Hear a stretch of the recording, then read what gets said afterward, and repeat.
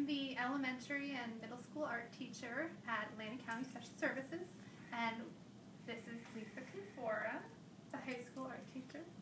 We had an artist in education residency grant through New Jersey State Council for the Arts, and for that we got a resident artist, Marilyn Keating. Yes, and, um, you know, the Council of the Arts of New Jersey is really fabulous about doing these things in schools, and, um, I do it because I think art and community is really important, and, uh, I'm shy, but I leave the house now and then for things like this. And, um, they wanted a ceramic mural, and I talked them into doing something that had more three dimension to it, because I'm a sculptor, so. And you get a, a whole big, big, big thing instead of a little teeny thing. so. And then every, every kid in the whole school got to put their, their touch on it too, with all these individual tiles that we made out of ceramic.